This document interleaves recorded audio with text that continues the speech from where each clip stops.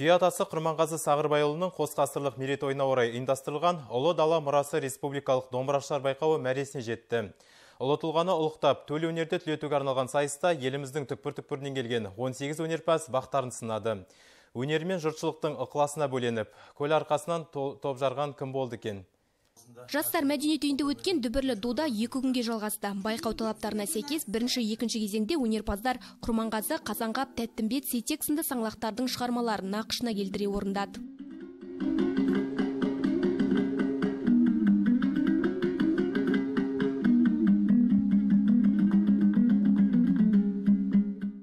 Күй мерекесінің бір өзгешелігі әр үміткер өз аймағына тән күйшілік мектепті паш етіп қана қоймай жан жақты білімін байқатулары тиіс. Сондықтан ақырғы айналымда дәулеткерей атындағы халық аспаптары оркестрінің сүйемелдеуімен өнер көрсету жүктелді.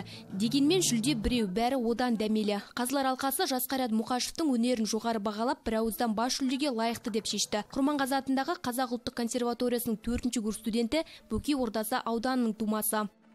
Он үш жасымыздан домбырамен алғаш домбыра мектебіне сол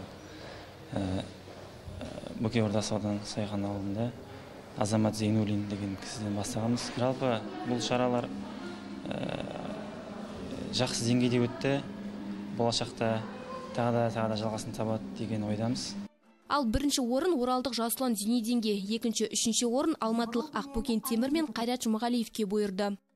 Енді осы топырақта туған балалардың озық тұруының өзі де заңдылық деп ойлаймын. Себебі шынымен де туған жердің топырақтың мына кішкентайынан бойларына сіңіріп өскен құрманғазының күйлері көрініп ақ тұр сондықтан мен құттықтаймын.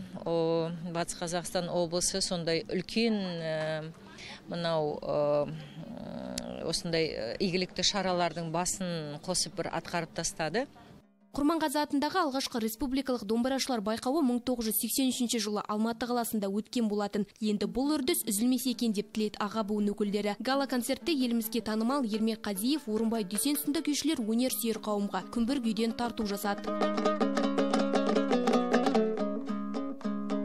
Назерке тоғжан тарас қажымов алтынбек қабделов ақжайық арнасы.